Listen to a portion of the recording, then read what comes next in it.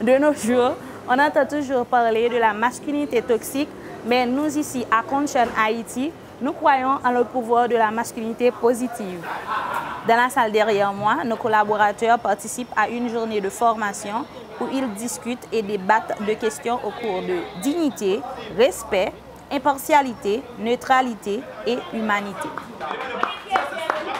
Comme vous pouvez le voir, ils sont très passionnés par ce sujet. Cela les aidera à faire leur travail plus efficacement alors qu'ils soutiennent les communautés d'Haïti.